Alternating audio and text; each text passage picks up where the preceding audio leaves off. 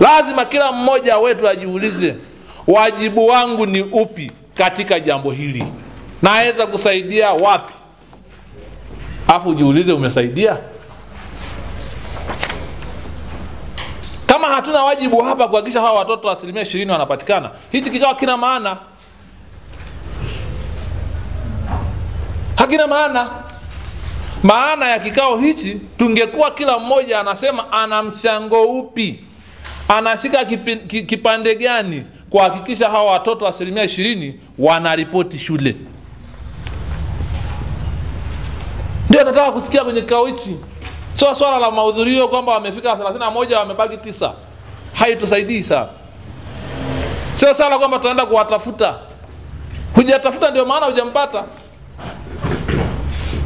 Karagu oye, Oye. sijui kama mmeona kitu fulani hapa kunataka mtazamo wa kikao hichi kiwe na mtazamo wa kutimiza wajibu kwamba mimi mnanipa kipande gani na wewe ufanye kwa sehemu gani ili asilimia ishirini ndani ya wiki moja watoto wameripoti shule. Sisi wengi hapa kama sio wako waliosimama wakati huo wakatusaidia wakatulazimisha kwenda shule leo msingekuwa hapa. Si kweli? Leo sisi situna deni hilo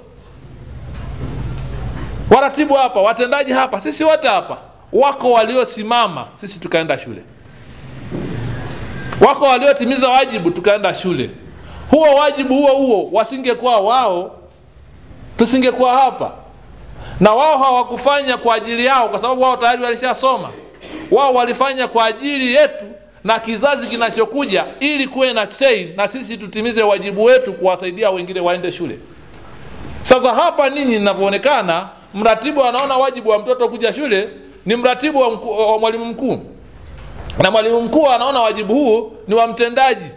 Na mtendaji anaona wajibu huu ni wa mwenyekiti wa kijiji. Na mwenyekiti wa kijiji anaona ni wa mwenyekiti wa kitongoji. Na mwenyekiti wa kitongoji anaona ni wa balozi. Na balozi anaona ni wa mzazi. Mtoto huyu hajaenda shule. Sababu lengo la kikao hichi ya afisa elimu sio kupeleka hawa watoto shule. Lengo lake ni kutimiza wajibu. Kwamba amewaita wenzake amewambia asilimia ishirini hawajaenda shule. Si ndio akimaliza anafunga mafaili yake anapata kwenye gari yake nyumbani nyumbani. Mratibu ana maelekezo naye anaenda anaita kikao chake. Akimaliza nataka kikao hichi kilete majibu tunafanyaje watoto hawa asilimia ishirini wapatikane waende shule? Hiyo ndio, ndio nataka mjadala huwe wa namna hiyo. Tunafanyaje watoto wanywe uji shuleni wale chakula cha mchana shuleni? Mimi mimi wewe na mimi kila mmoja wetu nina wajibu gani wa kuhakikisha jambo hili lina- linatekelezeka? Usipojiba wajibu hakuna atakayefanya kwa niaba yako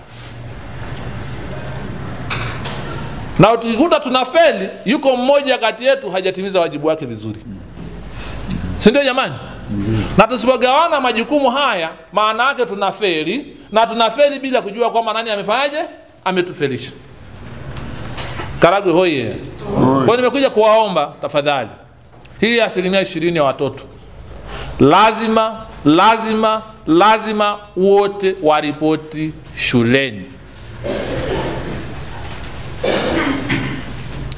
ndani ya wiki moja kutoka sasa siku saba. Kwa hiyo ijumaa ijayo tunataka taarifa ya afisa elimu kata.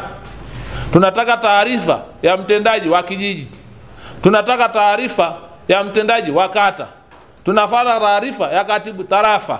Tunataka taarifa ya afisa elimu msingi na sekondari kila mmoja atuambie. Tunataka na afisa maendeleo ya jamii kwa sababu pamoja na majukumu yake pamoja na hiyo. Kila mtu atuambie mambo makadhaa. Moja hawa watoto wako wapi na wamefanya nini waende shule? Jambo la pili yeye amefanya nini? Aidha kukwamisha huyo mtoto asiende shule au kumsaidia huyo mtoto aende shule. Kwa sababu hauwezi kuacha vyote viwili. Ukiweza kumsaidia ataenda shule ukishindwa kumsaidia maana yake wewe umekwamisha. Sasa utaniambia umefanya nini kumsaidia aende? Au umefanya nini kumkwamisha asiende? Kwa nawaomba watumishi wenzangu mishahara hii tunayelipwa na stahiki zetu tunazopewa na serikali kwa maana tunalipwa na wananchi wenzetu ni ili tuwahudumie wao. Si sawa jamani?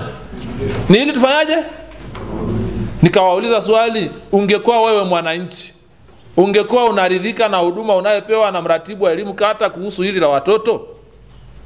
Au ni kisingizio tu? Nawaomba sana. Hili kama kiongozi wenu hapa naomba kila mtu akatimize wajibu wake. Asilimia ishirini hii tukiamua ni ndogo sana. Lakini asilimia hii ishirini tukikataa kuamua ni kubwa sana kupoteza watoto elfu moja na mia mbili themanini na tatu na themanini na nane. Wa darasa la saba wakapotea hivi hivi ni nguvu kazi kubwa ya taifa tumelipoteza. Tumeua ndoto ya watoto wengi sana ambao kesho baada ya ninyi watakaa kwenye viti vyenu hivi. Tusipoandaa kesho ya nchi hii hakuna mtu ataandaa kwa niaba yetu. Tujione tunao wajibu wa kuandaa kesho ya taifa letu. Tutimize kama wajibu kama wazazi kama wananchi wa karagwe. Tusifanye kama kulazimishwa. Tuone una uchungu. Kuna jambo linakusukuma. Kila mtu ana mtoto hapa kila mtu ana ndugu zake hapa ambaye yeye ndiye anawasaidia.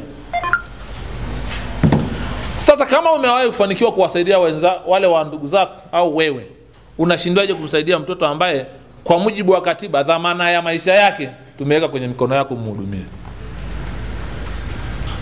Nisema, niseme hili pamoja na hiyo masuala ya uji na chakula tumekaa juzi na waheshimiwa madiwani nadhani mlikuwepo wakuu wa idara tumekaa kikao na watendaji na, na, na, makatibu tarafa tumekubaliana. Vikao vikakae kule chini kuwashirikisha wazazi ili watoto hawa wale wapate uji waweze kusoma vizuri shuleni. Na tumekubaliana kimsingi. Kazi hiyo ifanyike na yeye tumekubaliana tumekuba- tumepeana siku chache tunapokea tunategemea kupokea taarifa.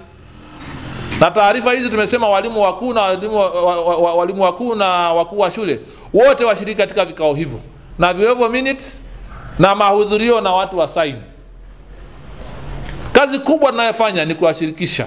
Ili tuwe na maamuzi shirikishi ili tuweze kufanikiwa. Hatuwezi kufanikiwa kila mtu akifanya kivyake kwa vikao hivyo naomba watendaji wa, vijiji, wa kata walioko hapa na vitendaji wa vijiji walioko hapa pamoja na waratibu na wakuu wa shule na walimu wakuu. Vikao hivi tumeshawapa maelekezo watendaji wa kata pamoja na madiwani viitishwe haraka ya makubaliano mambo kadhaa. Moja kwamba watoto wapate uji na chakula shuleni. Angalau basi tuanze hata na uji kwa maeneo ambayo tunashindwa provide chakula. Lakini jambo la pili makubaliano ya viwango vya fedha na uhalisia wa hiyo uji